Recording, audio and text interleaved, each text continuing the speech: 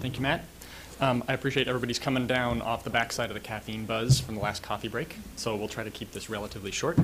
Uh, mostly going to give you a bit of a picture of what Compass is, because as Matt said, it's a little bit outside the, um, the boxes of his topology, um, uh, although it's in one that he showed us earlier.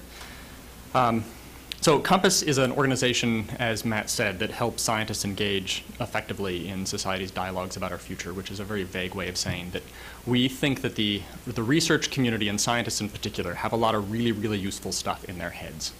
And oftentimes simply lack the knowledge and the skills or the bandwidth uh, or the understanding of where and when to share it to, to, to, to do the best good for society. Um, but the, the motivation is often there, and that's something we see again and again, at least with the scientists we, we get to work with. Um, we, we share or we give scientists skills. Uh, we help them build connections and understanding to, to be as productive a, a member of the of various societal dialogues as possible through a, a number of uh, mechanisms. Coaching, we, we will do one-on-one -on -one or small group coaching with scientists to help them figure out when and where and how to share what they've got to say. Um, we do a lot of convenings where we'll bring scientists together with members of the policy community or members of the, uh, the journalism community or other members of the research community that they're not well connected to. Um, and we, we also really very consciously through all we do are trying to change the culture of the science community to be, to, to value and prioritize reaching out and sharing what they know an effective way. So this, this whole roundtable is very exciting to me. Um, Brooke, my executive director from this morning, uh, flagged that we are a, um, a, boundary organization, and the, the perspective that I'm going to share here is a little bit more on the ground. Um, uh, and I also want to make clear that while uh, some of the sort of broad public outreach discussions that have been flagged here are a part of, uh, are served by some of what we do, our focus tends to be more on the direct interpersonal interaction between scientists and others. Um, and I, I also want to go back to something, Rick, I, I, really like your phrase, the management of the trust portfolio. A slight, um, uh, slightly different facet of that, which I think a lot about, is the concept of credibility, which is something that we spend a lot of time thinking about. And the way we get our work done is by understanding and managing credibility across these boundaries that we work on. Um, I also want to go back to something that was brought up this morning uh, in a few different forms. The idea of an aggregator or an aggregating mechanism for scientists to interact with outside communities was brought up in the, uh, I think in the first panel this morning, um, which I was listening to uh, remotely uh, because of the, the lovely weather we've had this morning or the last couple days. Um, the, one of the mechanisms that was talked very explicitly about was the, the outreach model. Um, the Compass is also an aggregator. I, I, think of us as an aggregator of credibility. We are able to, we have credibility within the science community because we have, uh, we've done very effective work with them, but almost everybody on the Compass staff has a background in science as well. We understand their culture. Similarly, we have a lot of credibility with the policy community because we've worked with them and shown them the value of sitting down with scientists in, a, in very carefully constructed conversations. And we have a lot of credibility with the world of journalism, again, from a background uh, in those communities. And this is one of the things that I think sets Compass apart from some of the other institutions uh, and boundary spanning organizations out there is we not only draw from expertise in those communities, but to the extent that we can, we all still are active participants in the communities we try to connect. We think about those connections as having to cross cultural divides, and that's how we help scientists understand what it is they need to do to be effective in, in reaching out to and engaging in a, in a two-way dialogue with these communities um, and which is an increasing focus of what we do. Not just pushing your knowledge out there, not just sharing data, but actually getting in, involved in a conversation so you can bring the entire depth of your knowledge of your field and how that data came to be and what it means. You can bring that into the conversation if you understand where your audience is coming from. Um, as I've already said, we, we really are focused on bringing scientists themselves into these conversations. We're not the issue area experts. We simply can see where the opportunities are to make connections where a really productive conversation can take place. Um, part of this actually gets to the issue of time that's come up again and again and again.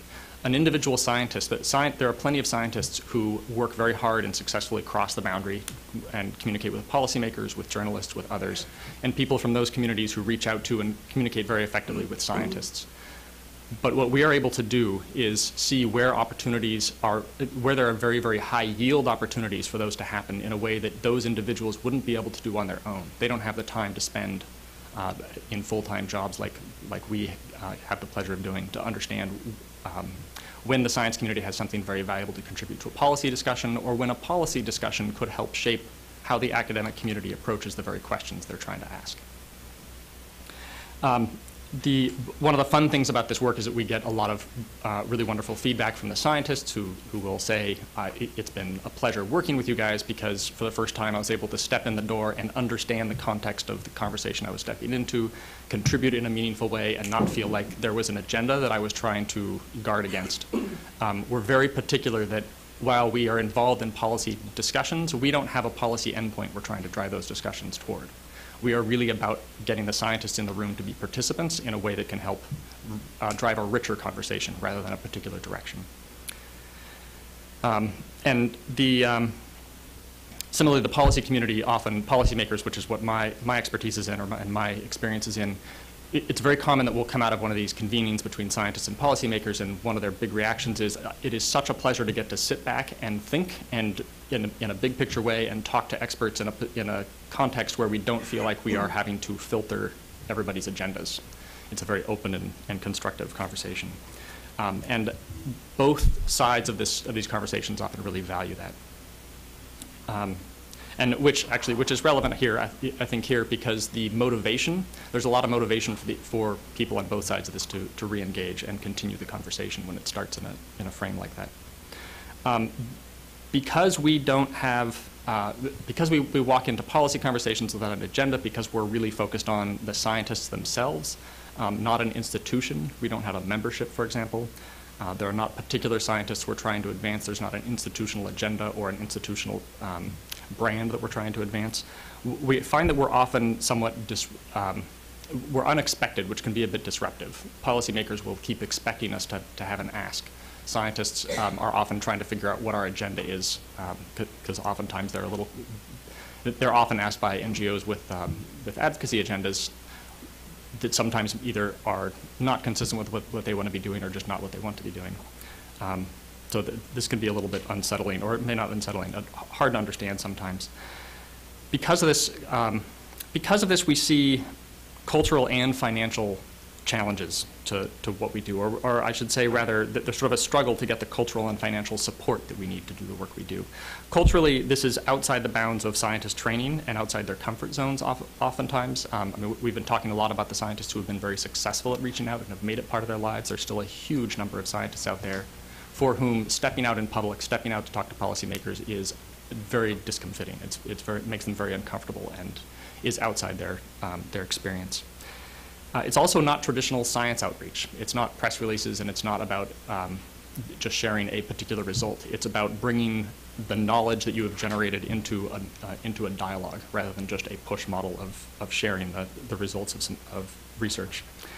Um, from a funding perspective, it's very dynamic and opportunistic. Policy needs often change on a fairly rapid, or at least policy, uh, the, the points at which you can discuss a particular policy topic often change fairly rapidly in a way that makes it very hard um, to fit within a lot of funding models, especially research funding models where you get a two or three year grant and the opportunities to connect that may come up in a couple of months. Um, it's also, again, because it's not about advancing specific goals, it often doesn't fit very well with uh, philanthropic foundations' strategies, which often involve very particular outcomes. Um, and in the interest, I think, of, of closing this out quickly, um, I, I want to just reemphasize that the the appetite that we hear from both the policy community and the science community is really big. Uh, we, there are far more opportunities than we can take advantage of to, to make these connections. And again, the, the kinds of connections we make are the very direct person-to-person -person connections.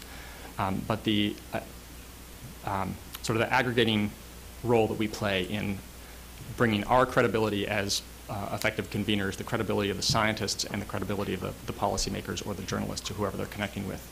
Uh, and managing that very carefully is, um, I think it's one of the things that makes it work and is one of the really big institutional challenges in, uh, in cracking this whole thing. Uh, so yeah. Thanks, Chad. Yep.